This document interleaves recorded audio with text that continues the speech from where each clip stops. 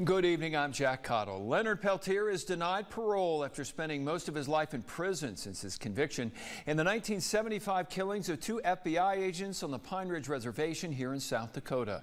The U.S. Parole Commission says that he won't be eligible for another parole hearing until June of 2026.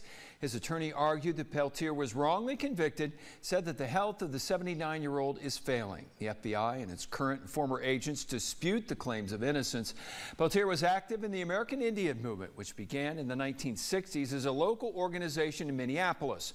Many Native Americans feel that the fight for Peltier's freedom is intertwined with the fight for indigenous rights. In a statement, NDN Collective President and CEO Nick Tilsen said the U.S. Parole Commission's denial of parole for Leonard Peltier, America's longest serving indigenous political prisoner, is a travesty.